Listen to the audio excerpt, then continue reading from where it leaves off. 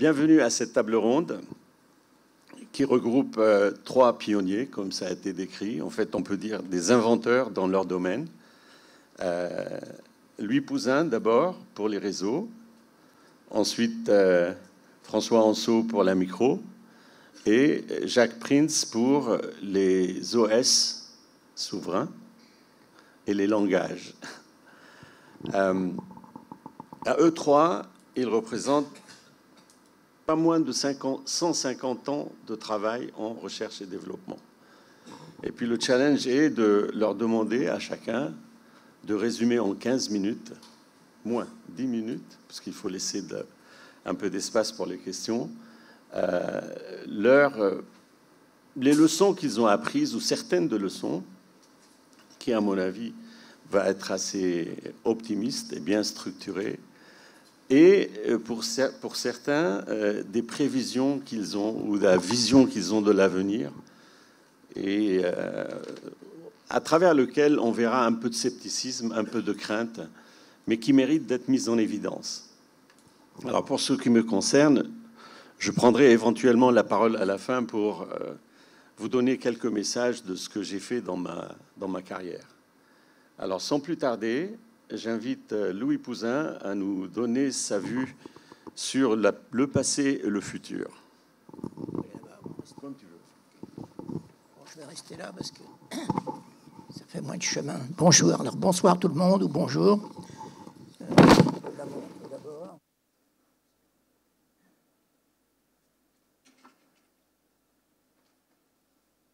Alors, qu'est-ce qui change? Pas? ben, c'est les gens. Euh, quand on commence trop tôt, ça marche pas. Si on, commence trop tard, ça marche pas non plus. Quand on veut lancer quelque chose, il faut que ce soit le bon moment. C'est comme la mode, hein, c'est pas autre chose. Hein. Donc, euh, en informatique, ben, ça ne change pas. C'est la même, c'est ce qui se passe. Alors, on a fait l'Internet. C'était pas prévu en fait, parce que l'Internet, euh, c'est simplement des ordinateurs qui parlent entre eux. Ben, ça a commencé bien avant l'ARPANET. Ça a commencé avec les systèmes de messages. Bon, enfin, tout ça, c'est ancien, mais ça a évolué petit à petit. Alors là où c'est devenu un peu inquiétant, c'est quand on en a connecté beaucoup entre eux qui n'étaient pas de même marque. Alors là, il y a eu des protestations assez violentes des fournisseurs de, machines. Bon. Alors où on en est aujourd'hui? Eh bien, on a un Internet qui marche depuis 35 euh, ans à peu près, ou 40 ans, je ne sais plus très bien. Eh bien, en fait, il est complètement à bout de souffle. Euh, j'ai regardé un petit peu les RFC. Vous savez ce que c'est que les RFC Request for Comment. C'est les faux standards de l'Internet. Alors, euh, le premier a eu lieu le 7 avril 1969. Il était assez long déjà, et au moins 15 pages. Maintenant, on est au numéro 8493. Bon, si vous faites le compte, le nombre de RFC par jour, à peu près, euh, on voit que c'est totalement hors de portée d'un individu moyen, même surdoué. C'est-à-dire que pour appliquer les RFC, c'est la roulette. C'est-à-dire qu'on peut les appliquer, on avait impliqué un, impliqué deux, trois, mais comme en fait ils se marchent sur les pieds les uns les autres, personne n'est vraiment en mesure d'appliquer les, RFC dans leur totalité, parce que c'est pas possible. Alors qu'est-ce qu'on peut faire dans ces cas-là? Il ben, faut changer l'Internet, c'est très simple. Sinon, ça sera pire. Plus ça ira, plus ça va diverger. Bon. Alors ensuite, euh, il y a la gouvernance. Ben, c'est pareil encore. On a commencé la gouvernance à peu près en 1980, pardon, en 2008. Euh, en fait, ça, marchait très bien au début parce qu'il n'y avait pas beaucoup de gens et parce que ils étaient surtout préoccupés en fait par euh, faire de l'argent. On expliquait aux gens que c'était pour que ça marche bien, mais en réalité, c'était pour arrondir leur portefeuille et euh, ça amenait à des salaires dépassant évidemment euh, ceux des présidents des États-Unis. Alors ça marche toujours, bien qu'on ait changé les présidents plusieurs fois. Le dernier en date, c'est un Suédois. Et chose bizarre, on n'entend pas parler de lui. C'est peut-être ce qu'il a de mieux à faire d'ailleurs. Bon, alors ça, on en reparlera peut-être plus tard, mais il vaut mieux fermer le, fermer le banc tout de suite. Et je passerai maintenant, qu'est-ce qui va arriver après? Après, il y a les futurs Internet. Alors, on a tous dit, il faut faire table rase. C'est pas possible. Étant donné qu'il y a quelques centaines de millions d'abonnés à l'Internet dans des pays comme les États-Unis, l'Europe, la Chine, et la Chine 800 millions. Hein. On ne peut pas changer ça d'un coup de baguette magique. Donc, au bout, du compte, on va, être, on, va être, efforcé de vivre avec pendant combien de temps? Ben, Typiquement, les logiciels euh, d'usagers durent pas beaucoup plus de 10 ans parce que ils sont, périmés, ils prennent trop de mémoire, ils vont pas assez vite, ils coûtent trop cher, et puis on en a marre, c'est tout, on voudrait autre chose, par exemple blockchain. Hein. Donc euh, ça change forcément par la poussée de la mode. Et de ce fait, dans dix ans, il n'y aura plus l'Internet d'aujourd'hui. C'est pratiquement garanti. Alors qu'est-ce qu'on aura à la place? Ben, À la place, on aura euh, des, agrandissements de, ce qui est Internet aujourd'hui. Euh, vous savez qu'aujourd'hui, il y a un monopole autoproclamé sur les noms de domaine, sur euh, la gestion du réseau. Et ce monopole autoproclamé, évidemment, n'a plus vraiment de raison d'exister, parce qu'ils sont tous riches maintenant. Donc euh, il faut passer à autre chose. Alors ça va donc se, normalement se disperser dans un certain nombre d'associations, de, groupements, euh, d'institutions euh, qui vont se marcher sur les pieds forcément, parce que ce sera, il y aura de la concurrence. La concurrence viendra bien sûr du commerce, mais principalement de la politique, parce que tous ces gens seront dans des pays différents, avec euh, des gouvernements différents, avec euh, une mentalité différente, des langues différentes. Comment voulez-vous que tout ça marche euh, comme dans un bain d'huile? C'est pas possible. Donc on va avoir une certaine foire d'empoigne, mais là-dedans, le minimum, c'est d'avoir la possibilité de communiquer. Donc plus c'est compliqué, moins ça marche. C'est-à-dire que la seule façon de poursuivre l'Internet dans le futur, c'est d'avoir des systèmes beaux, très simplifiés par rapport à ce qu'ils sont aujourd'hui, et de répartir les difficultés dans des organismes ou dans des morceaux de, pour dire, d'applications soigneusement élaborés pour bien faire ce qu'ils font, mais ne pas trop euh, faire de l'over-design. Donc ça, c'est ce qui va venir. Alors je citerai par exemple Rina. Qui, connaît Rina ou qui ne connaît pas Rina? Ah bon, bien, connaît pas. Bon, ça veut dire euh, Recursive Internetwork Architecture. Bon, alors je vais en parler un petit peu plus parce que c'est quand même le futur qui est plus intéressant. Alors RINA, ça a été lancé aux États-Unis euh, dans euh, Boston University, qui est à Boston comme son nom l'indique. Alors le principal animateur là-dedans, c'était John Day, qui était un ancien de l'ARPANET et qu'on connaissait très bien. Euh, parce que quand on a fait Cyclade, on connaissait aussi pas mal de gens. On était un petit nombre de gens, on était une quarantaine, de par le monde. On pouvait se mettre d'accord à peu près. Maintenant, c'est pas possible. Donc, Rina a démarré à ce moment-là. Ça a pris dix ans de réflexion pour John Day. Il a, publié un bouquin en, 2008, euh, je crois. Et petit à petit, ça a fait son chemin. Alors évidemment, ils avaient un contrat de la National Science Foundation, pas de l'ARPA, évidemment, c'était pas possible, parce que l'ARPA avait d'autres visions. C'était de faire un réseau unique qui envahisse le monde et qui soit sous gouvernance américaine. Alors c'est toujours leur idée, mais elle marche pas très bien.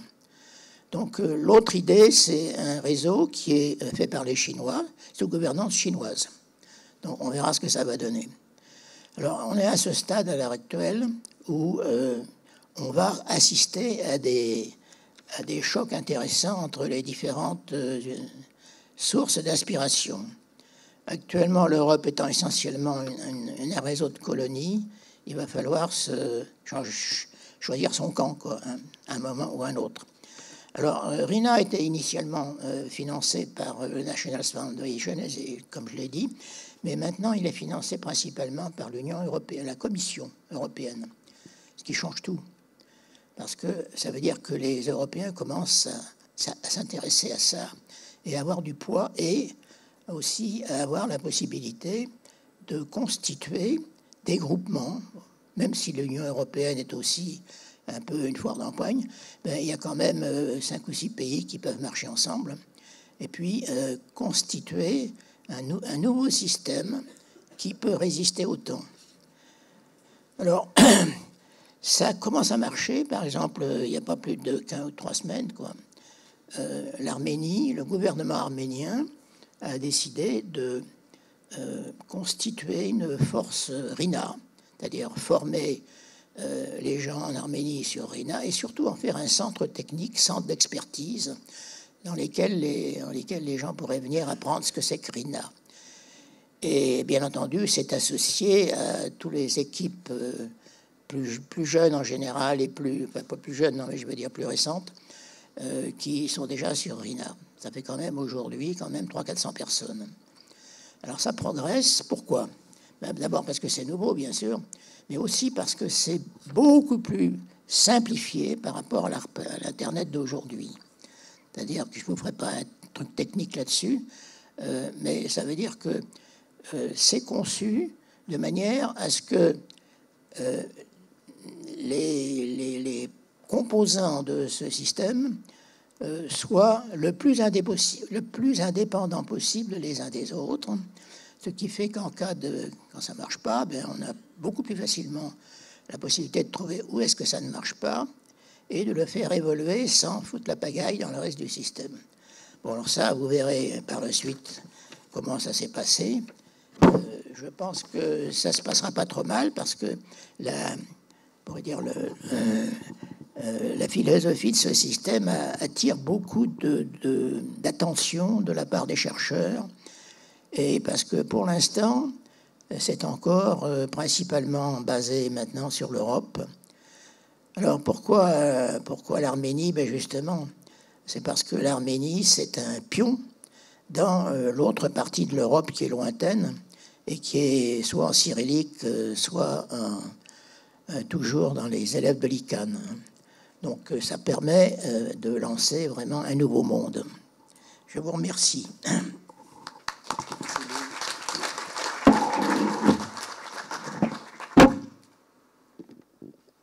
nous avons décidé que... Vous m'entendez là? Euh, Si vous avez une question brûlante, euh, go ahead. Sinon, on passe à, la deuxième. Je voudrais qu'on mette des slides. Et puis, pendant qu'on met les slides, je pense que c'est un bon sujet, Rina, pour euh, un colloque ou un séminaire, Frédéric Bull, qui soit où on débat de ça, parce qu'il y a matière à passer plusieurs heures à discuter de, de Rina et son potentiel. Bon. Bonjour. Euh, voilà, j'ai passé une bonne partie de ma vie dans la microélectronique. Donc, euh, j'ai vu naître les microprocesseurs et euh, j'ai vu leur, la, la, déchéance française. Je voulais faire un bouquin à l'époque sur les larmes de silicium fin des années 70. On avait tout, tout entre les mains pour faire des microprocesseurs et euh, pour des raisons euh, de sabotage, ça n'a pas été fait. Hein. Et euh, il y a eu quand même des processeurs français qui ont été faits, en particulier le, le Bull, le, le Bull DPS-7 qui a été réalisé par Bull à Auclay-sous-Bois et qui est à peu près contemporain et comparable au premier Pentium d'Intel. Hein. Pas les suivants, hein, le premier.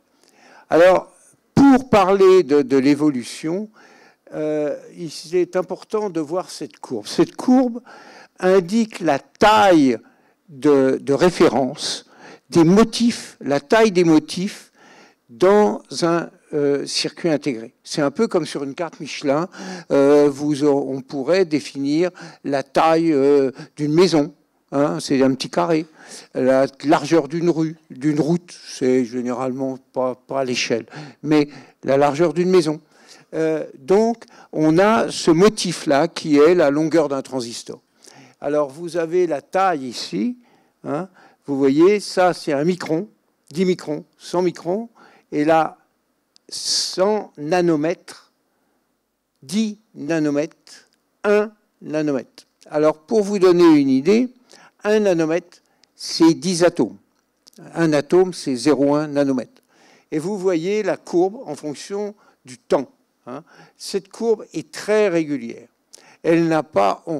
tout le temps, pendant ma vie, j'ai commencé à, m'intéresser à ça au début des années 70. Il y a toujours des gens qui me disaient Ah, on n'ira pas plus loin. Ah, on n'ira pas plus loin. Ah, ça, c'est le dernier souffle. Et ainsi de suite. J'ai toujours entendu ça. Et ça a été plus loin, avec peut-être un moment, quelques pauses. Et là, vous voyez, on est sur une courbe qui descend, qui descend, qui descend. Alors, plus le motif des transistors diminue, plus on peut en mettre sur la puce, puisqu'ils sont plus petits. Mais aussi, plus ils vont vite. Et euh, plus. Euh, et donc, ça permet de faire des machines qui vont de plus en plus vite. Mais euh, également, beaucoup de transistors sur une puce et qui tournent très vite, eh bien, ça chauffe. Et il a été nécessaire de. Donc, ça, c'est la, la courbe qui montre l'évolution de la vitesse d'un oscillateur élémentaire que l'on ferait avec cette technologie. Et vous voyez, euh, ça a augmenté, ça a augmenté, c'est parti sur une courbe ici, et à 3 gigas, euh, les fabricants ont décidé d'arrêter. Pourquoi ils ont arrêté Et les microprocesseurs, maintenant, les gros microprocesseurs sont autour de 3 gigas, 4 gigas? Pour quelle raison? Eh bien, tout simplement parce que ça chauffait euh, plus que le cœur d'une centrale nucléaire. Mais on aurait pu se passer de ça, on aurait pu faire des systèmes refroidis avec des, systèmes à, liquide et ainsi de suite. Et pourquoi ils ont fait ça? Parce que l'avenir de la microélectronique, c'est dans la poche. C'est les smartphones, c'est les différents gadgets qu'il y avait électroniques. Euh, et donc, euh, cette courbe-là n'a pas été exploitée la, microélectronique a diminué et permettrait de faire, de monter à des vitesses énormes. Vous voyez, euh, euh, actuellement, on irait en, on doit être proche de faire avec la microélectronique actuelle, hein, qui doit être de l'ordre de 7 nanomètres, hein, euh, c'est-à-dire 70 atomes, de, faire, d'approcher le terahertz. Le terahertz, c'est l'entrée dans les infrarouges. C'est-à-dire que à cette époque ici, on entrait dans les ondes radar. Je me souviens, dans les années début des années 80, j'avais dit on finira la décennie avec un giga instruction par seconde, un milliard d'instructions par seconde. Eh bien, euh, tout le monde me dit mais t'es fou, euh, on n'arrivera pas, euh, et ainsi de suite. Et on est arrivé effectivement au milliard. Milliard avec des, horloges à 3 GHz. Hein. 3 GHz, c'est des fréquences radar. Hein. Moi, quand j'ai commencé l'électronique, il y avait des radars, c'était euh, le bout du monde. Hein. Et bien là, là maintenant, c'est l'horloge. Hein. Et donc, on va faire des horloges à des fréquences infrarouges, hein, si on veut. On pourrait monter là-dedans et faire des petits morceaux. Ça, c'est très important. Euh, et actuellement, vous voyez, on est à, 4, 4 GHz. Avec, alors, qu'est-ce qu'on fait avec ça? On fait surtout des processeurs. Et des processeurs, maintenant, on considère que le processeur, c'est une petite boîte qui n'a. Euh, on prend des processeurs, on les assemble. C'est beaucoup plus important de les assembler que de savoir ce qu'il y a dedans. Or, ce qu'il y a dedans est devenu absolument fantastique. Hein. Et euh, pour vous donner une idée, les, derniers Pentium Pro, hein, les derniers Pentium euh, d'Intel, de, tournent à 4 gigas d'horloge. Hein. donc c'est quelque part par là, c'est cette courbe-là. et ils exécutent deux instructions et demie à chaque top d'horloge. À chaque top d'horloge, il y a deux instructions et demie d'exécuter. Alors, vous multipliez 4 par 2,5 et ça vous fait 10 milliards d'instructions par seconde. Hein. vous voyez Et on pourrait aller plus vite. Hein. On pourrait aller beaucoup plus vite en suivant la courbe. Alors pour vous donner une idée, voilà en gros ce qu'il y a dans un, processeur. Et sachez que les processeurs modernes, ils n'exécutent pas leurs instructions les unes derrière les autres. Ils exécutent chaque instruction quand elle est prête, quand elle est exécutable. Ça s'appelle du data flow c'est-à-dire on transforme votre code séquentiel en data flow et on exécute le data flow, hein, ce qui permet justement d'exécuter plusieurs instructions à la fois. Et ça, euh, ces machines-là comportent euh, près du, c'est quelques centaines de millions de, processeurs pour faire ça. C'est plus gros que ce qu'on faisait dans les armoires. C'est plus gros que les plus gros processeurs qu'on faisait dans les armoires. Alors, il faut voir que ça, c'est quelque chose de fantastique. Hein. Mais il y a un peu du négatif. Est-ce que je peux avoir la deuxième diapo? Alors là, c'est un peu moins amusant. Hein. Et voilà, j'ai pris l'exemple, vous voyez, de ces fermes où on met euh, des milliers de, processeurs, voire des dizaines de milliers de processeurs ensemble pour faire euh, travail en base de données ou euh, travailler sur des grosses données. Et certains des organisateurs, des gens qui font ça, eh bien, ont dévoyé le truc. Hein, ont dévoyé le truc. Et c'est pour ça que j'ai mis la photo d'un démon. Pourquoi un démon? C'est parce qu'ils utilisent des techniques de démons. Vous savez ce que faisaient les démons, enfin étaient supposés faire les démons au Moyen Âge. Ils vous, ils échangeaient des super pouvoirs, hein, pour prendre un jargon moderne, avec contre votre âme, hein, vendre son âme, euh, son âme au diable, hein, c'était euh, en fait l'échanger contre des super pouvoirs. Regardez les histoires euh, du, Moyen Âge. Et actuellement, qu'est-ce qu'ils font? Eh bien, on vous échange des super logiciels hein, contre votre intimité.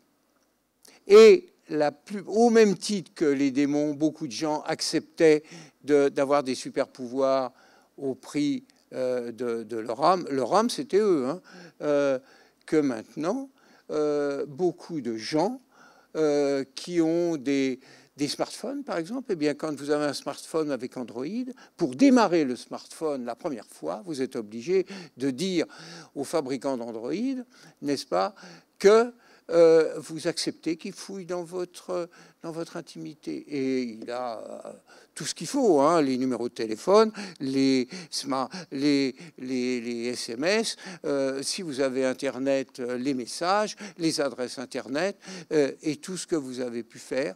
Hein. et les gens disent, ah mais moi, j'ai rien à cacher. Alors regardez un peu dans le détail de votre vie et vous verrez que vous avez beaucoup de choses à cacher, beaucoup de choses qu'on peut vous retourner euh, pour vous faire chanter. Hein. Et c'est absolument extraordinaire. Hein. Je peux vous signaler, pour la petite histoire, que euh, des gens qui s'intéressent à l'ufologie, n'est-ce pas Il y en a un certain nombre qui sont morts aux États-Unis parce qu'ils ont été fouillés là où il fallait pas. Euh, et donc, euh, c'est quand même assez euh, dangereux, ce genre de choses, hein, pour des raisons politiques, pour des raisons idéologiques, pour des raisons, tout ce que vous voulez. Vous, êtes extrêmement fragile. Hein. D'ailleurs, le, président que je qualifie là un peu de démon a dit ce sera quand c'est plus la peine que vous remplissiez un formulaire n'est-ce pas, par exemple, pour choisir un vêtement, on le fera à votre place parce qu'on sait exactement votre réaction. On a modélisé exactement ce que vous êtes. Voilà. Donc, euh, je crois qu'il faut un peu voir les deux côtés. Merci. Voilà. Bah, on va passer la parole. oui. Mais il y a quand même un côté positif des choses. Hein. On, on, on... Ça, c'est un téléphone, vous voyez, c'est pas Tiens, je vais parler au public. Ça coûte 20 euros. Et euh, c'est moderne, ça marche.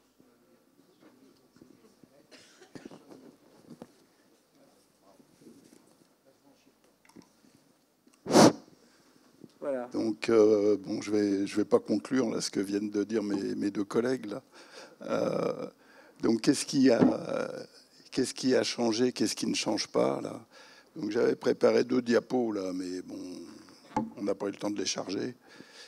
Et euh, c'est juste pour dire là que quand je suis rentré chez Bull, moi, en 1969, donc c'était quelques années avant le démarrage de l'Institut Frédéric Bull, j'ai vu, le, j'ai vu un des derniers Gamma 60 qui était installé dans les locaux de Gambetta. Enfin, ceux d'entre vous qui ont fréquenté Gambetta se rappelle peut-être euh, ce fameux Gamma 60. donc qui est la machine qui a ruiné Bull. Et après, Bull s'est fait racheter par General Electric. Alors la salle où il y avait le Gamma 60, c'était au moins le double de celle-là. Et je voulais mettre en regard une photo d'un smartphone euh, d'aujourd'hui, dont, François vient de, nous parler. Donc le, différentiel de puissance entre un smartphone d'aujourd'hui et puis le Gamma 60 que j'ai vu à l'époque où je suis rentré chez Bull, où je connaissais pas un mot d'informatique d'ailleurs, parce qu'à l'époque c'était pas enseigné dans les, dans les grandes écoles, c'est, euh, mettons, aller de l'ordre du million, quoi, peut-être un peu moins. Euh. Et aucune des technologies du Gamma 60 euh, d'il y a 50 ans maintenant n'est réutilisée dans les smartphones d'aujourd'hui. Donc on a l'impression qu'en fait que tout a changé, mais si on y regarde un petit peu dans le détail, on est obligé de dire que rien n'a changé. Quoi. Parce qu'il y a quelque chose qui est resté absolument constant dans ces années-là, entre ce moment-là et aujourd'hui, c'est l'architecture interne de la machine, l'architecture logique de la machine, qui s'appelle l'architecture de, von Neumann, hein, euh, d'ailleurs, laquelle architecture est une, euh, je dirais, une adaptation à la technologie, euh, à la logique quoi, de, la machine de Turing. Hein. Turing d'ailleurs n'appelant pas sa machine machine de Turing, Hein, il appelait ça euh, Logical Computing Model. Quoi. Hein, et von Neumann, lui, parlait de Logical Model. Donc le Logical Model est rigoureusement le même depuis le début des ordinateurs, donc depuis que von Neumann a écrit son fameux rapport en 1948, là, et aujourd'hui. Donc là, c'est absolument stable, parfaitement stable. Donc moi, quand je suis rentré chez Bull, donc à l'époque, l'informatique n'était pas enseignée dans les grandes écoles, euh, moi, dans l'école où j'étais, il y avait un laboratoire de matériaux où il y avait un CAP 500.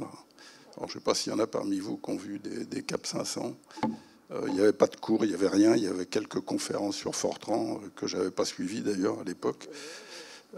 mais du fait du rachat de Bull par General Electric, j'ai en fait moi appris l'informatique sur le tas, mais le tas c'était avec le MIT, puisque Bull à l'époque s'était embarqué dans un projet de nouvelle gamme dont François a mentionné une des machines phares, qui, était le, qui était le DPS-7, là, dans la version Ares en particulier, là, qui était une machine où, euh, une des premières machines où on avait déployé la technologie CMOS euh, à grande échelle. Quoi.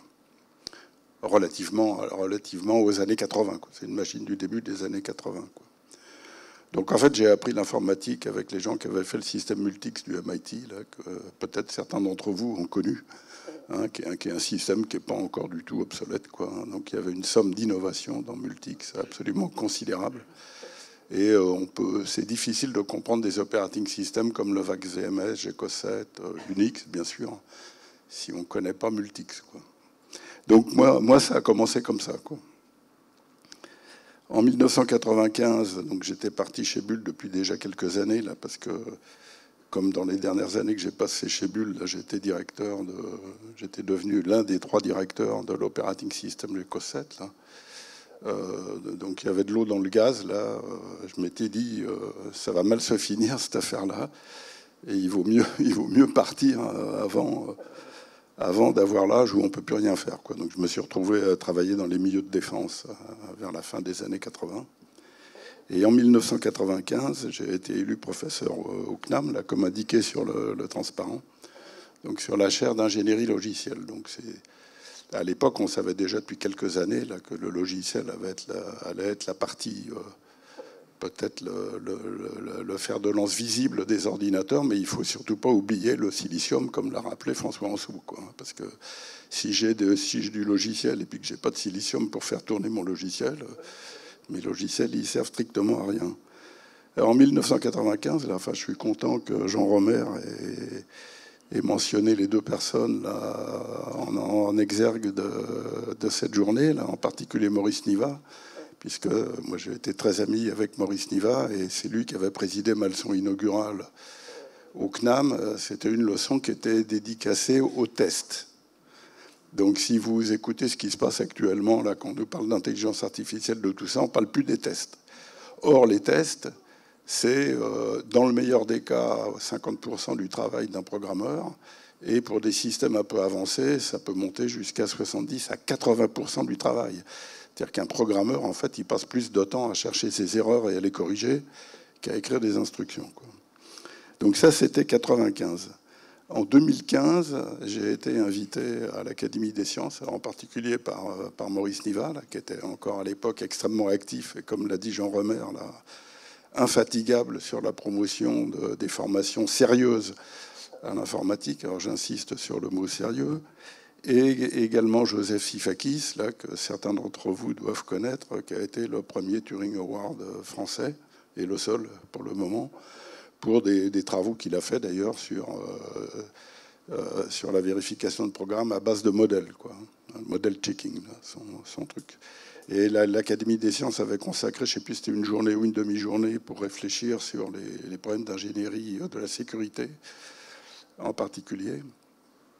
Et alors, dans cette journée mémorable, on avait eu un exposé, euh, en particulier d'un des responsables euh, de la sécurité des systèmes d'information. Je crois qu'il est toujours en poste d'ailleurs actuellement, là, Guillaume Poupard, euh, que j'avais connu moi à la DGA, parce que j'ai beaucoup beaucoup travaillé pour la DGA après mon départ de, chez Bull. Et Guillaume Poupard nous avait parlé de sécurité en faisant une mention aux operating systems, en disant mais ça serait peut-être bien si on pouvait avoir un OS souverain euh, parce que, alors il s'était pas trop étendu, hein, parce que c'est un sujet qui fait encore polémique aujourd'hui. Si vous contrôlez pas l'operating system, vous contrôlez rien. C'est exactement ce que racontait euh, François il y a, cinq minutes. Hein. Et alors, euh, donc moi, en entendant ça, j'ai quand même pas pu m'empêcher de penser que la France avait une équipe compétitive en matière d'operating system. C'était la seule équipe européenne qui a été démantelé dans les années 90. Bon, moi j'étais parti, alors j'ai pas vu le, pas vu le massacre. Hein. Et euh, si, si, on voulait refaire aujourd'hui une équipe comme celle que la France a laissé partir dans le décor dans les années 90, personnellement, je pense que c'est pas possible. Pour une simple raison d'ailleurs, c'est que euh, à l'époque, moi où je suis rentré dans cette équipe, il y avait, disons, ce qui tenait, la structure. il y avait plusieurs centaines d'ingénieurs il y avait un assez gros euh, contingent d'ingénieurs qui venaient des grandes écoles, enfin de ce qu'on appelle le groupe 1, la Polytechnique centrale, les mines, des écoles comme ça, dont certains avaient été formés aux États-Unis, puisque à l'époque il n'y avait pas pas vraiment de formation sérieuse à l'informatique en France. C'est venu après, quoi. Mais aujourd'hui, on ne saurait pas refaire cette équipe-là, parce que moi, mes collègues de Polytechnique ou de Centrale, euh, ils préfèrent aller faire de la finance ou de la stratégie ou du bavardage marketing ou des choses comme ça. Quoi. Ça les intéresse absolument plus de s'occuper aux microprocesseurs dont parlait François ou aux operating systems ou aux compilateurs dont je me suis occupé moi. Et en 95, par exemple, pour donner une date, moi, donc je, venais d'arriver au CNAM et on liquidait, c'est l'époque où on liquidait les cours sur les techniques de compilation euh, non seulement au CNAM, mais dans toutes les universités. je ne parle même pas dans les grandes écoles, puisqu'il n'y avait pas de cours sur les techniques de compilation dans les grandes écoles. Donc voilà. Alors pour, revenir à l'époque moderne, et je terminerai là-dessus, là, je me suis fait recruter en 2016 par le, président recteur de l'Université catholique de Lille pour apporter un petit peu d'éclairage technique sur une chaire qui venait d'être créée euh, à l'Université catholique de Lille, une chaire qui s'appelle transhumanisme, enfin éthique, technologie et transhumanisme. Donc c'est une chaire qui fait un petit peu de l'observation sur ce phénomène absolument extravagant là qu'on observe depuis quelques années, là qu'on appelle le transhumanisme.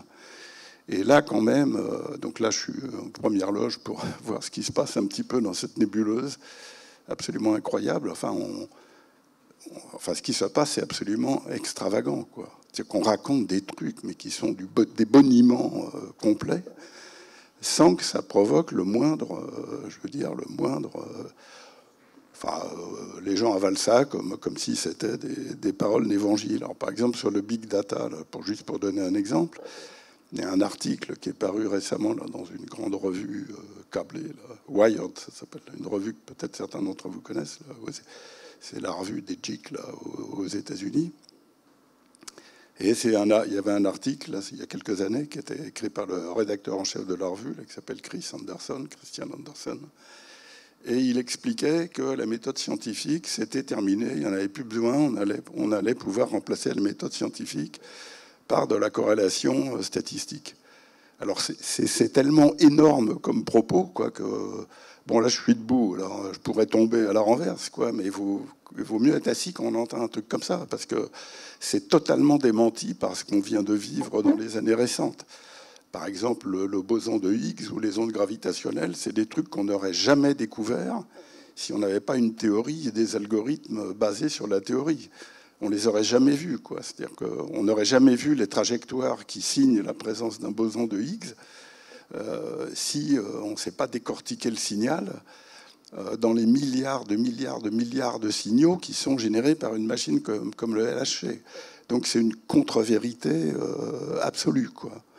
Hein, donc, donc on, est là face à un phénomène extravagant et je pense que j'en ai souvent discuté avec Maurice Niva d'ailleurs quelques mois avant sa mort encore. Euh, la seule réponse qu'on peut faire à ça, euh, c'est pas de ridiculiser les gens qui proposent ce genre de trucs ou dire c'est tous des cons ou des choses comme ça.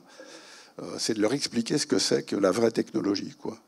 Donc moi, c'est ce que, c'est ce que m'ont, demandé de faire mes collègues de, l'université de, Lille. Alors je me suis fendu d'un gros livre là, suite à des conférences que j'ai données à l'université de Lille. Enfin, vous, avez quelques exemplaires en, haut là, puis surtout les, les bons de commande si ça vous intéresse de savoir ce que j'ai pu raconter à cette occasion-là, quoi. Mais euh, si vous voulez, la bonne, la bonne réponse à ce genre de choses, c'est expliquer, expliquer, expliquer, encore expliquer. C'est faire de la pédagogie, quoi. Voilà. Merci Jacques.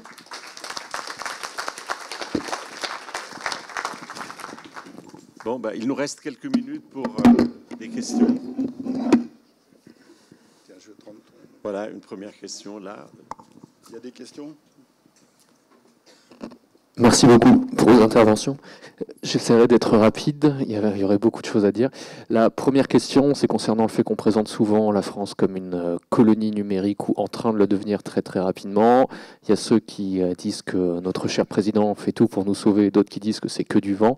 Donc, selon vous, quelle est la réalité du terrain, la marge de manœuvre qu'on peut avoir encore avec les talents qu'on a Pour combien d'années on a devant nous Avec combien d'efforts, même si j'imagine que c'est une question assez vague, pour euh, espérer sortir dans la course ou si c'est perdu d'avance Ça, c'était la première question. Et la deuxième, il me semble que tout à l'heure, vous avez montré euh, sur votre graphique ce, ce, à quoi on se réfère souvent comme étant la loi de Moore, si je ne dis pas de bêtises.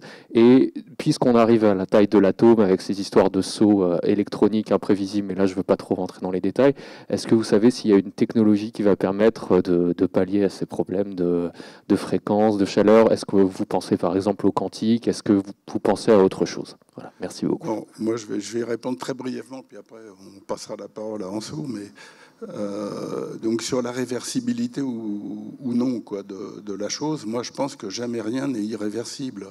Simplement, faut pas y aller comme des naïfs. Quoi.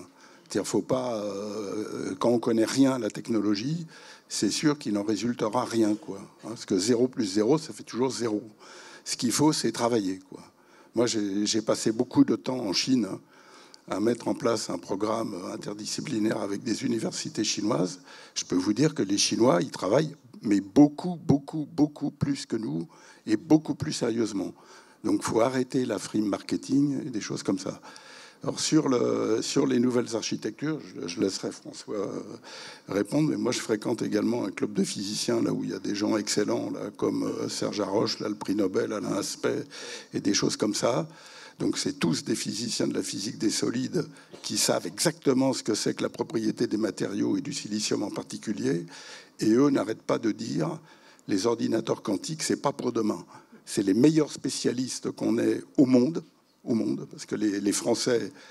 Je ne sais pas si je vous demandais quel est le dernier prix Nobel français, je suis sûr qu'il n'y en a pas beaucoup qui le connaissent. Quoi. La France est une des premières nations du monde en prix Nobel de physique et de mathématiques, avec les médailles Field. Euh, et euh, donc, euh, j'ai plutôt tendance à croire, moi, des gens comme Serge Haroche ou Alain Aspect que des rigolos comme Laurent Alexandre. D'une manière assez surprenante, les, transistors fonctionnent toujours à 70 nanomètres, à, 7 nanomètres. malgré les prédictions désastreuses d'un certain nombre de gens. Donc on continue. Et euh, je pense qu'ils fonctionneront encore à 5, ils fonctionneront encore à 1 nanomètre certainement. Euh, en dessous, on ne sait pas. Hein. Et, mais il faut se dépêcher parce que vous avez vu la courbe, elle continue, elle continue. Et qu'est-ce qui va se passer? Alors il va se passer que finalement le, substrat du transistor peut fonctionner pour des transistors basés sur un atome. Pourquoi pas? Parce que finalement, c'est pas l'atome qui l'utilise, c'est le nuage d'électrons libres qu'il y a. Mais ce qui va être limitant, c'est ce qui fait la, partie qui fait le transistor lui-même, la grille, c'est des atomes. Donc, s'il y a un atome en dessous, il y a un atome au-dessus. Hein. Et donc, fabriquer une grille avec un atome, pourquoi pas? Ben, Je ne sais pas. Mais pas certainement pas moins d'un atome. Hein. Donc, je crois que là, euh, alors maintenant, la machine quantique, euh, je rejoindrai assez les, propos de Jacques. Hein. Euh, euh, je suis tombé sur des, descriptions, j'ai tenté de comprendre comment ça marchait, et je suis tombé sur des descriptions qui escamotaient à chaque coup la partie importante. Hein. Par exemple, on vous fait des qubits qui sont des, euh, comment, des superpositions d'une flopée d'états, mais comment on modifie les données dans ces qubits? Hein. Euh, euh, s'il faut le casser pour faire du traitement et le reconstruire après, autant faire du séquentiel. Hein. Ça ne sert plus à rien d'avoir euh, stocké. donc, comment on va travailler sur les différentes valeurs d'un qubit Je n'ai pas trouvé encore de, documents qui expliquent ça. Hein. peut-être, peut-être pas, je ne sais pas. Hein. Euh, on a, euh, euh, on fait des, séminaires d'histoire de, l'informatique et on a invité là pour un prochain séminaire. Faudrait demander à Isabelle qui, est par là et de nous expliquer comment ça fonctionne. Hein. On va le torturer pour savoir comment ça marche. Mais c'est à peu près tout. Merci. Voilà. D'autres questions? Oui, il y a là-bas aussi.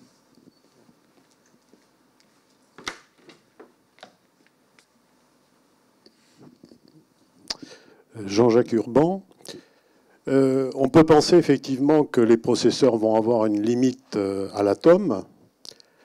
La plupart des grandes applications aujourd'hui euh, s'appuient sur de la collaboration entre un certain nombre de processeurs. Je pense qu'il y a eu des progrès considérables qui ont été réalisés pour faire coopérer un certain nombre de processeurs. Et je pense que l'avenir sera dans l'optimisation des échanges entre ces processeurs. Et donc, je pense que les travaux dont nous a parlé Louis Pouzin sur de nouvelles fondations d'un réseau permettant d'associer un certain nombre de processus se déroulant anasynchrone est une piste euh, sur laquelle il y a suffisamment de choses nouvelles à lancer pour créer, dans le domaine des operating systems, quelque chose qui soit aussi novateur que ce que Louis Pouzin nous a dit sur les réseaux. Et du coup, je suis persuadé que la structure interne qui était connue dans Multix, avec les anneaux de confiance, aurait sûrement quelque chose à faire dans un monde dans lequel il serait utile d'éviter que n'importe qui puisse aller bricoler n'importe quoi, ce qui est le cas aujourd'hui dans les architectures et dans les systèmes d'exploitation qui nous servent tous les jours, que ce soit Microsoft, euh, Apple ou Android. Voilà. D'où ma question. Est-ce que, malgré ce qui nous a été dit sur l'incapacité des Français à renouveler une architecture globale avec des OS, est-ce qu'il n'y a pas quelque chose à faire? C'est ma conviction profonde. Oui. Pour une réponse un tout petit peu plus courte que l'intervention. Euh, ah, bon. Oui, euh, je voulais dire que tu as parlé des machines assemblé de manière asynchrone, on peut le faire synchrone. Hein. et on a trouvé à l'IPSIS là un moyen de synchroniser autant de processeurs, de, machines que l'on veut sur une puce. Hein, et euh, en faisant une analogie avec le fonctionnement de l'eau. De mettre de l'eau dans un, dans un récipient, la surface est plate. On fait l'analogie entre la surface et la phase. Et ça marche très bien. Mais personne s'intéresse à ce travail. Bon. Mais il y avait une question là-bas, non? Rapidement, bonjour. Ça sera la dernière. Hein non euh, juste un commentaire très rapide. Euh, je m'étonne que vous n'ayez pas insisté sur les GAFA, sur les BATX et euh, comment ces acteurs majeurs seront dans 40 ans, sachant aussi que IBM n'a pas dit son dernier mot, on l'a vu avec le quantique, sujet à prospective lointaine, mais également avec l'intelligence artificielle, Watson, et ils ont beaucoup de projets dans les cartons. On parle de plus en plus des GAFA, mais même des GAFAMI. Voilà, simple commentaire. Oui, bah, écoutez, là-dessus, euh, euh, je pourrais apporter un, éclairage. Euh, en fait, s'il y a un événement à retenir pendant les dernières 40 années, c'est arrivé en 2007. non, oui, en 2007, c'est le lancement du cloud public par Amazon. Alors, ce lancement sur le plan technique, il y avait d'autres acteurs qui ont créé des cloud computing, qui ont mis en place de la virtualisation de data centers et autres. Mais Amazon a été capable de lancer un cloud avec un modèle économique qui est exceptionnel. Euh, on paye à la demande, on paye en mode réservé, on paye en faisant de, de l'auction, euh, on paye en mode planifié, et on a accès à des ressources de toutes sortes, n'importe où dans le monde, avec une flexibilité ou plutôt une élasticité jusqu'à l'infini. Et ça, ça a été déterminant parce que derrière, il y a eu la création de start-up que nous connaissons tous, qui sont Airbnb, Uber, LinkedIn et presque un millier de start-up qui ont vu naître euh, leur business et devenir même des acteurs globaux autour d'un cloud public qui a été annoncé par Amazon. Alors, qu'est-ce qui s'est passé en 2013 Amazon rentre en concurrence contre IBM, ou IBM rentre en concurrence euh, contre Amazon sur un cloud euh, pour la CIA aux États-Unis, qu'ils appellent GovCloud. Amazon, qui a 7 ans d'âge, a battu IBM, qui a plus d'un siècle d'âge, sur cet appel d'offres de 600 millions de dollars. IBM a été racheté SoftLayer, une autre société, pour 2-3 milliards de dollars, a fait appel et est revenu dans la course. Amazon les a battus. Ce qui veut dire que cet acteur-là, qui est Amazon, avec son cloud, a permis de lancer une plateforme mondiale autour de laquelle la plupart des développements sont en train de se faire. Microsoft a enchaîné derrière et Google, qui avait son cloud, qui était propriétaire, a décidé de mettre toutes ces ressources à la disposition des acteurs. Donc aujourd'hui, les GAFA, c'est quoi? Les GAFA, ce sont, c'est pas seulement le fait qu'ils espionnent euh, ou qu'ils ont le contenu que nous avons, c'est qu'ils ont les infrastructures de demain, c'est-à-dire toutes les blockchains, toutes les plateformes d'intelligence artificielle aujourd'hui. Nos algorithmiciens, nos académiciens, nos chercheurs vont développer sur des infrastructures tenues par Amazon, Azure et Google, et bientôt Alibaba. Et on n'arrivera jamais à les rattraper. Et ce n'est pas seulement des développements qu'ils euh, font, mais c'est également de l'opération, c'est-à-dire les applications en production tournent sur ces clouds et tournent d'une façon fiable, avec du disaster recovery entre les sites, quelque chose d'extraordinaire. Et, là, bon, si on veut parler des GAFA, en fait, il faut savoir distinguer entre les Facebook, ceux qui gèrent nos contenus, et là il faut s'en méfier, et ceux qui offrent les infrastructures de demain autour desquelles toutes nos applications vont se faire. Et tous les assistants personnels aujourd'hui qu'on est en train d'acheter, qui sait quel est le rythme de vente de, euh, le système Echo d'Amazon? Il y a la minute d'Internet où il y a des millions de transactions, des millions de messages, 400 millions de tweets par minute. Il y a 56, non, 67, pardon, 67 échos par minute qui se vendent par Amazon. Donc les assistants personnels qui sont les ramifications du cloud vont rentrer dans nos foyers, mais même pas dans le salon, mais partout dans les chambres, pour interagir avec vous d'une autre façon. Donc c'est ça, quand on dit GAFA, c'est vraiment des infrastructures qui sont en train de se mettre partout euh, dans nos foyers. Et là, il y a un sujet à débattre euh, sur la limite de, ce, de cette expansion.